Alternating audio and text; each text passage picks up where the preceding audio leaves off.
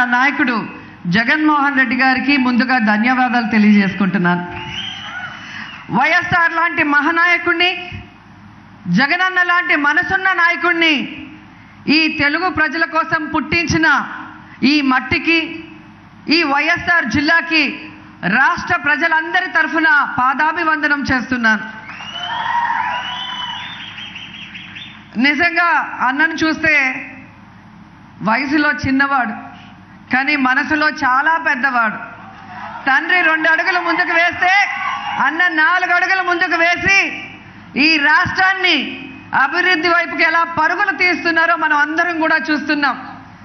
ఒకవైపు అభివృద్ధి ఒకవైపు సంక్షేమం అంటూ ఈరోజు రెండు కళ్ళని ఎలా సమంగా తీసుకువెళ్తున్నారో కూడా మనం చూస్తున్నాం. ముఖ్యంగా ఈరోజు ఈ గండికోటలో ఓబ్రాయ్ హోటల్స్ విక్రమ్ ఓబ్రాయ్ గారు కూడా ఇక్కడే ఉన్నారు. వారి ద్వారా గండికోటలోనే కాకుండా అటు తిరుపతి ఇటు వైజాగ్లో కూడా సెవెన్ స్టార్ ఫెసిలిటీస్తో మరి హోటల్స్ కట్టడం అంటే అది జగనన్నకే చెల్లింది. రికార్డు సృష్టించాలన్నా ఆయన సృష్టించిన రికార్డులను బద్దలు కొట్టాలన్నా అది జగనన్నకే సాధ్యమని కూడా ఈ సందర్భంగా తెలియజేసుకుంటున్నాను.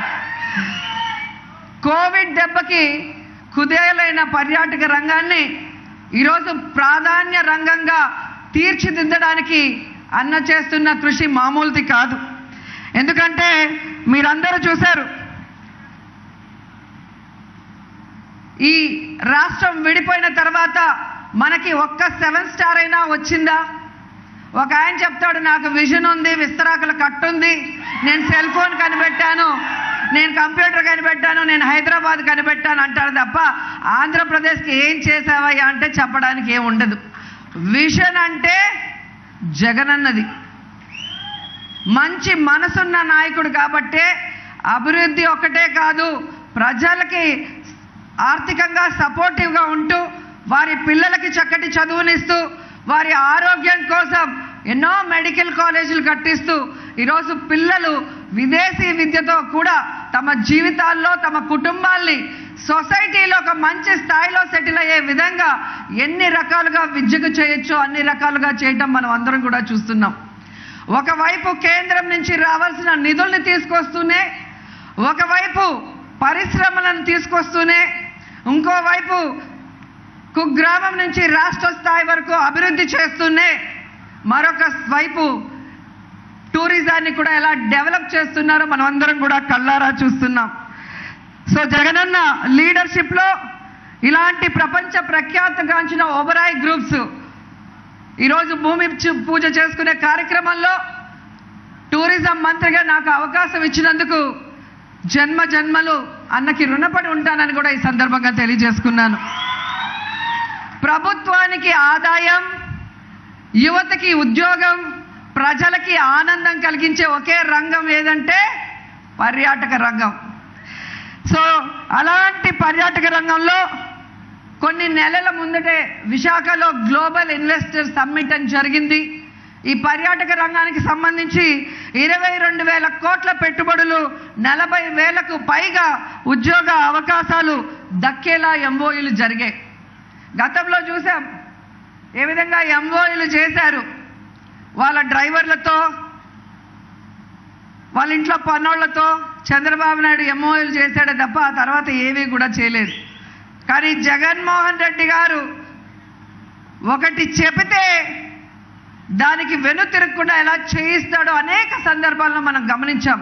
అలాగే ఈ విషయంలో కూడా ఎంఓఎల్ చేయటమే కాకుండా ఇంత వేగంగా భూమి పూజలు చేసి వాటి కన్స్ట్రక్షన్స్కి అన్ని రకాల పర్మిషన్స్ ఇచ్చి ముందుకు నడిపించడం అనేది ఆ ఘనత జగనన్నకే దక్కుతుందని కూడా ఈ సందర్భంగా తెలియజేసుకుంటున్నాను. ఈరోజు రాష్ట్రంలో పారిశ్రామిక అభివృద్ధి అలాగే ఈ రాష్ట్రానికి పెట్టుబడులతో వస్తున్న పారిశ్రామిక వేతలను చూస్తూనే అర్థమవుతుంది.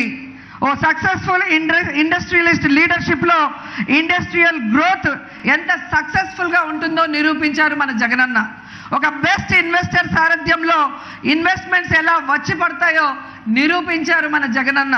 ఓ బెస్ట్ అడ్మినిస్ట్రేటర్ ప్రభుత్వంలో పారిశ్రామిక రంగంలో ఎలాంటి అద్భుతాలు సాధించగలమో నిరూపించిన వ్యక్తి మన జగనన్న అని కూడా ఈ సందర్భంగా తెలియజేసుకుంటున్నాను. గత ప్రభుత్వంలో మనం చూసాం చంద్రబాబు నాయుడు గారి ప్రభుత్వంలో సన్ రైజ్ ఏపీ అని ఓ బ్రాండ్ని చేసుకున్నారు. ఈ సన్ రైజ్ ఏపీ అంటే అది కేవలం చంద్రబాబు గారి సన్ లోకేష్ రైస్ కోసమే ఉపయోగపడింది కానీ ఎక్కడ ఏపీ రైస్కి ఉపయోగపడలేదు అనేది మనం అందరం కూడా గమనించాం. చంద్రబాబు నాయుడు గారి పాలనలో ఆయన పార్టీ నేతలైన అయ్యన్న పాత్రుడు యనమల రామకృష్ణుడు గారి వియంకుడు లిక్కర్ ఫ్యాక్టరీలు ఓపెన్ చేసి ఇదే పారిశ్రామిక ప్రగ ప్రగతి అని చెప్పి డంబాలు కొట్టుకున్నారు. కానీ ఈరోజు మీరు చూస్తే అంబానీలు అదానీలు జిందాల్ ఓబరాయ్ లాంటి పారిశ్రామిక దిగ్గజాలు మన రాష్ట్రానికి పెట్టుబడులు పెడుతున్నారు. మాకీ అసోసియేషన్ లాంటి సంస్థ చంద్రబాబు పాలన బీహార్ కంటే ఘోరంగా ఉందని చెప్పడం జరిగింది.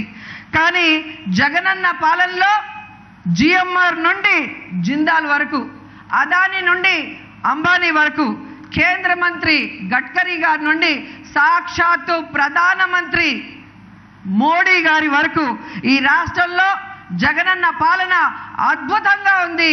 శబాష్ అంటూ ఈరోజు అందరూ కూడా ఆయన అభినందిస్తుంటే ఆ పార్టీలో ఉన్నందుకు ఒక సైనికురాలుగా ఎప్పుడు నేను గర్వపడుతున్నాను అని కూడా ఈ సందర్భంగా తెలియజేసుకుంటున్నాను. ఈరోజు జగనన్న సారథ్యంలో మన రాష్ట్రం ఈజ్ ఆఫ్ డూయింగ్లో నెంబర్ వన్. గ్రోత్ రేట్లో నెంబర్ వన్. పెట్టుబడుల ఆకర్షణ